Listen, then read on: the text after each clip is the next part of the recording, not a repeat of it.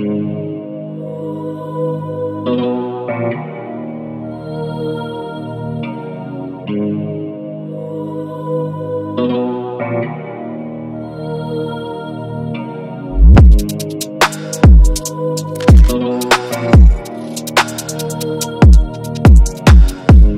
right, I got two peekers tonight. These two coyotes at separate occasions peeked up over top the hill. The wind is really, wind's real high tonight, and we got a storm rolling in. I got a thunderstorm rolling in about 4 a.m.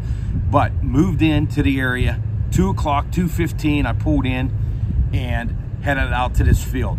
The wind was blowing strong in my face, so what I did is I left the collar back behind me a little bit, 30, 40 yards, and I moved up to a mound and I started to call a little bit. Opened up with Icotec hot to trot house, nothing. Amy interrogation house, no response. Went into Icotec foreplay a little bit and I caught a coyote moving from the right to the left and it was within range. I could have take, taken a shot. I had no idea where the cows were yet on this property. So what I did, the, the coyote went off to the left. I made a little bit of a move. I left the call where it was.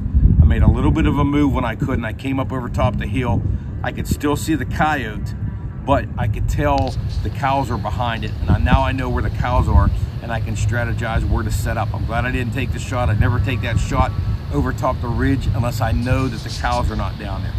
I, I actually looped back around back behind my call and I went over to the right a little bit more and I kept calling. I kept switching between Icotec foreplay, mating ritual, a little bit of Tony Tebby stuck on you, and eventually that coyote would, would pop its head up over, peeking.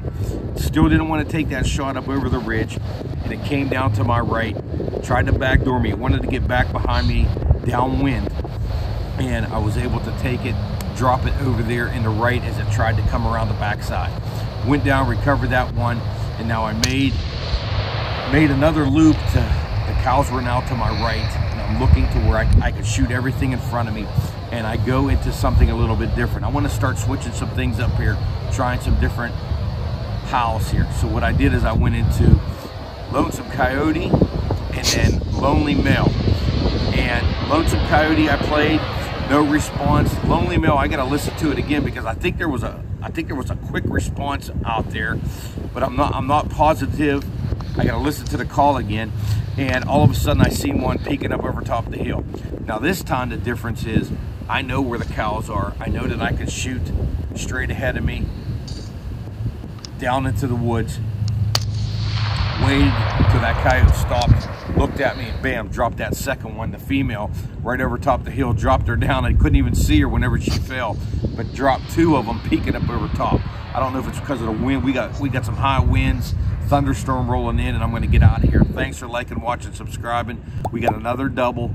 I mean, they're really responding now. They didn't howl much tonight, but they're coming in because of this mating season. Another pair down. We'll be back out tomorrow night.